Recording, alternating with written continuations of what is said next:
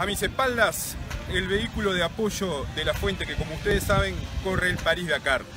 Este camión atraviesa kilómetros por los caminos más duros, es un MAN 6x6, pero acá lo tienen para que lo puedan apreciar.